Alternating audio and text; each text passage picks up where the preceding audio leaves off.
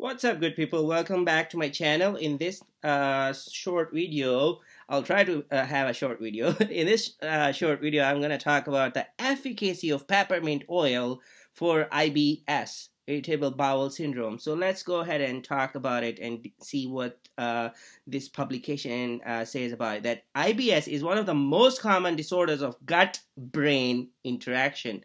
Gut and brain. It's not just your bowel it's your brain connection as well. That's where I wanted to hit it hard that yes, gut and brain, two things are involved in this. And it has a complex pathophysiology, and that's why antispasmodics are prescribed as a first line therapy because of their action on the gut motility. And in this regard, peppermint oil has also been used as an antispasmodic agent. And in this uh, publication, it, uh, the author is going on the efficacy of this for uh, this specific IBS patient uh, group. And the conclusion is the peppermint oil was superior to the placebo for the treatment of IBS, but adverse effects were more frequent.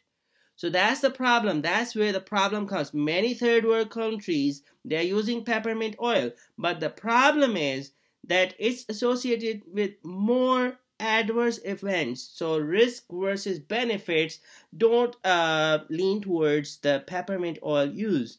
So so just be careful. My uh, sole purpose of this video is to bring the awareness that yes peppermint oil could be useful for your spasms of your gut and relieve your problems related to IBS but the thing is it has a lot of side effects and it's not that beneficial compared to some other ways that you can get it treated. So adequately, uh, you know, powered RCTs uh, were showing this, and the thing is, uh, this peppermint oil has been used for centuries.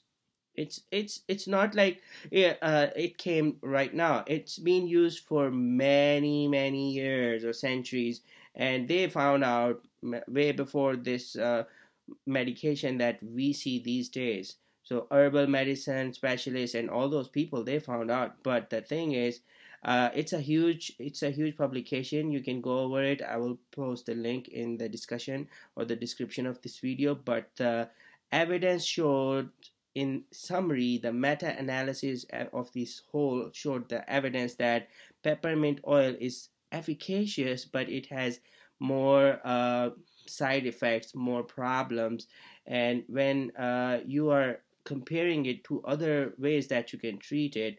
So it it falls behind. That's the thing. But if you have more questions please ask me. Please ask your uh, gastroenterologist or primary care doctor. And don't just uh, fall into the trap of uh, some home remedies that could make you suffer more. Okay? Thank you so much. Have a great day. Bye bye